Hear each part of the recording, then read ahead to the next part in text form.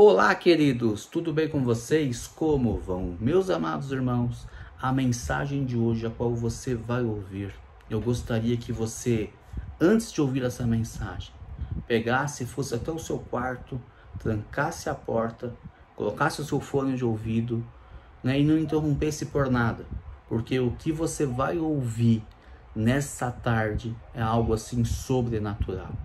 Queridos, eu não sei se você tem percebido, mas Deus, ele tem movido o mundo espiritual esse ano de uma forma diferente. Eu não sei se você tem esse feeling espiritual, né? E tem percebido é, esse mover no mundo espiritual. O mundo espiritual, queridos, está se movendo de uma forma diferente.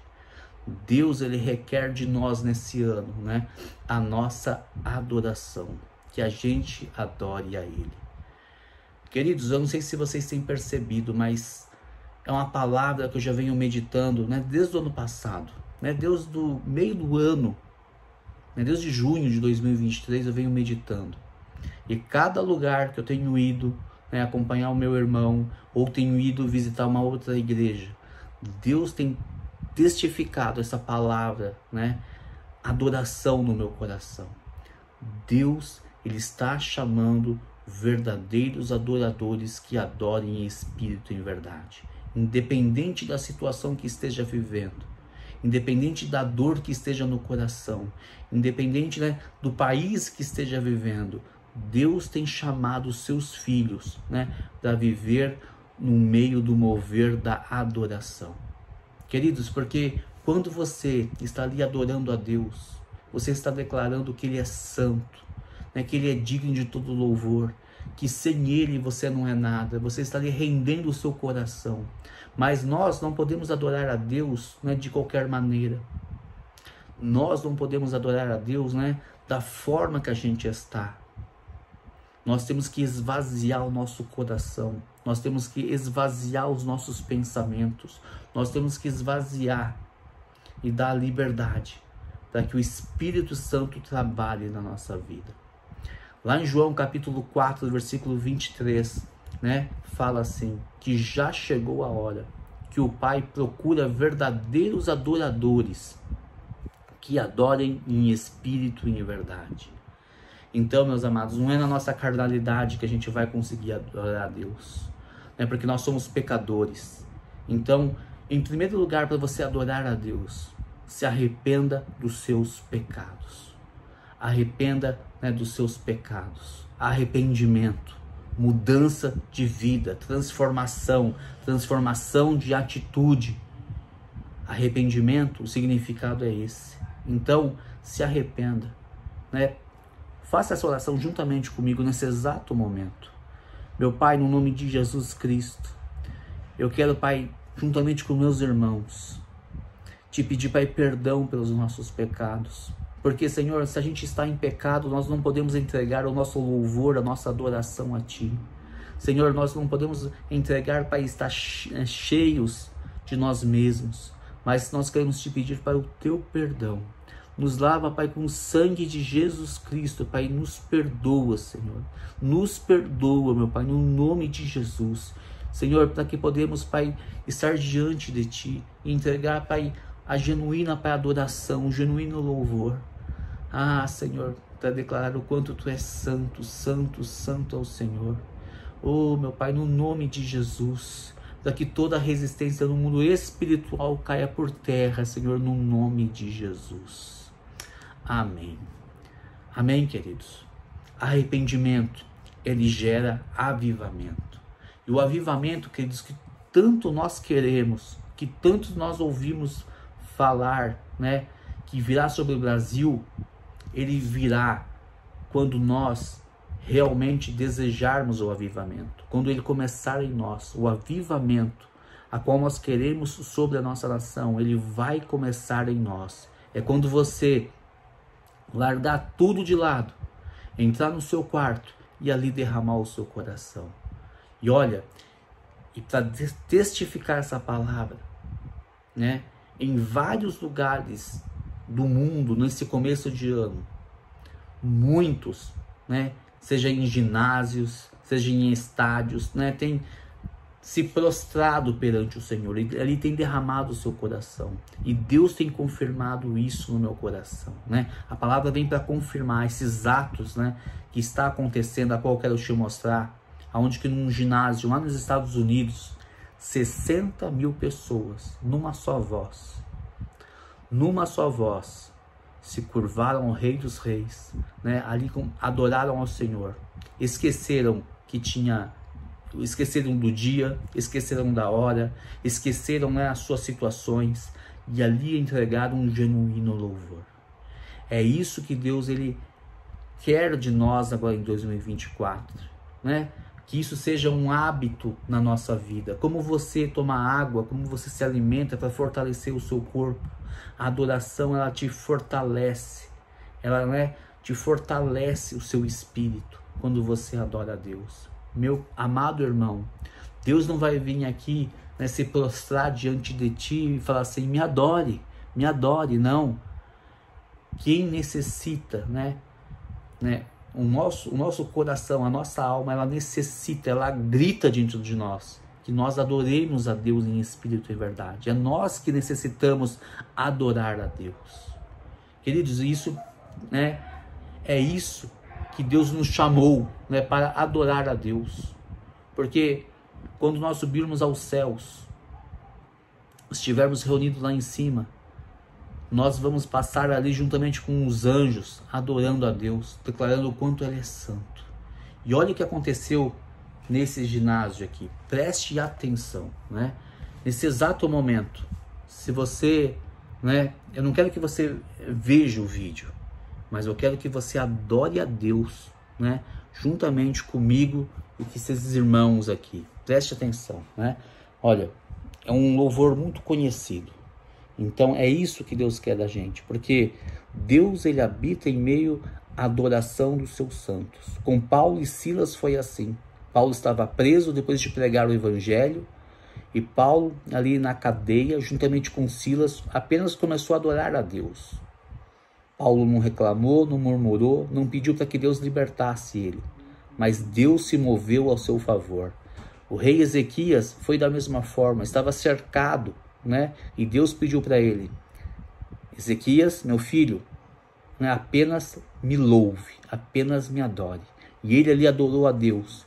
E Deus né, entrou naquela guerra e os, e os povos que estavam guerreando contra Israel, eles se guerrearam entre si.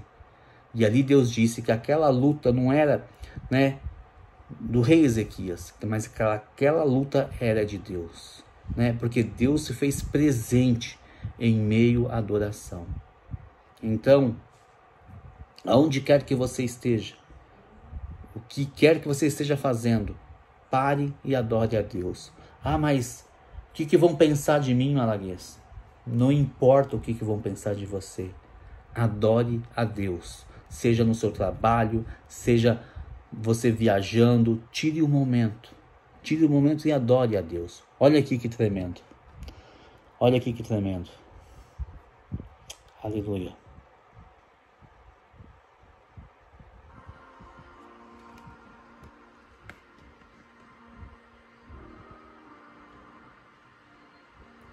Você conhece esse louvor?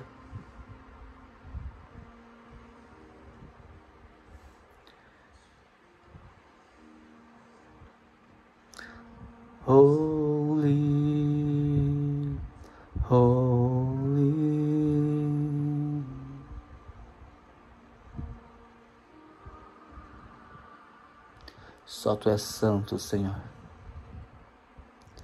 Só tu és santo. Adore a Deus, querido. Adore a Deus. Declare o quanto Ele é santo. Chore, laraba, chore, canda, labarabarás.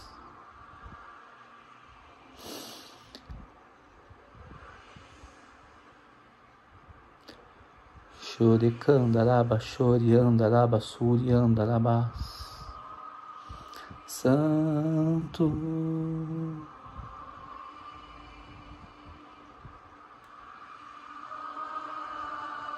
A tua igreja te adora, Senhor.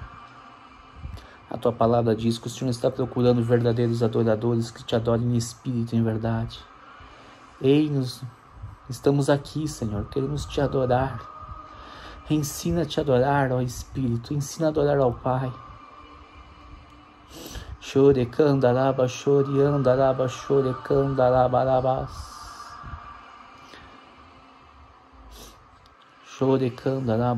Andaraba, chore, candarabas.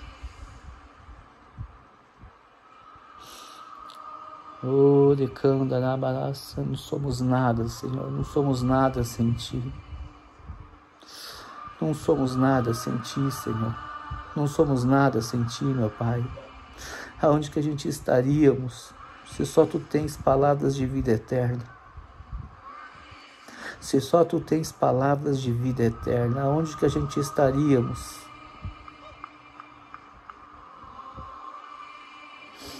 Aonde, Senhor, que a gente estaríamos? Tu és a nossa vida. Tu és a vida, tu és o ar que respiramos. Tu és, Pai, o alimento a qual nós nos alimentamos. Tu és o nosso tudo, Senhor. Tu és o nosso tudo, Senhor. E queremos nessa tarde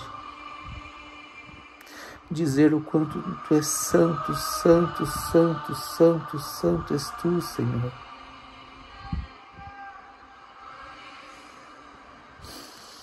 Queremos, Pai, dizer o quanto Tu és santo, quanto Te amamos, o quanto precisamos de Ti, meu Pai, o quanto Tu és digno de todo louvor, de toda adoração. Chore, candaraba, chore, andaraba, chore, andarabas. Digno de louvor, digno de louvor. Santo, Santo.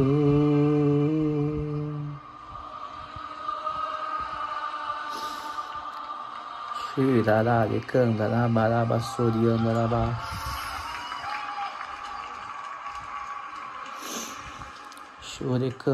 Soriandaraba.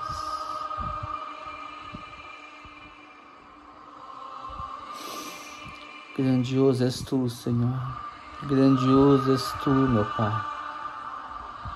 Só tu és digno de todo louvor, só tu és digno de toda adoração.